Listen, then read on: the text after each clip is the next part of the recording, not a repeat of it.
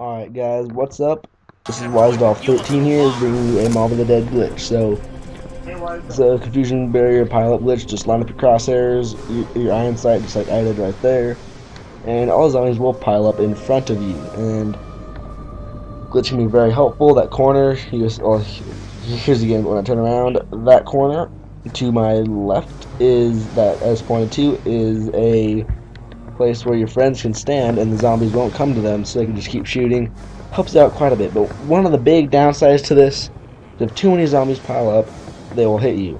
So don't let more than like 15 or 20 zombies pile up. So it's like keep rapidly shooting them and shooting them as much as you can. But yeah, so that's pretty much all, all this is. Just a little small. There are many other glitches that I know of and will be uploading shortly.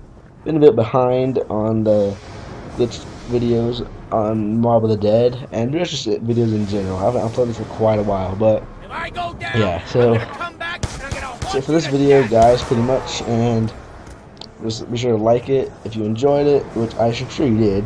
One of the few Mob of the Dead glitch videos out there. And for more amazing Mob of the Dead videos, be sure to subscribe to my channel. But that is it for this video, guys. Peace out. Could use some backup here. This sure's a lot of them.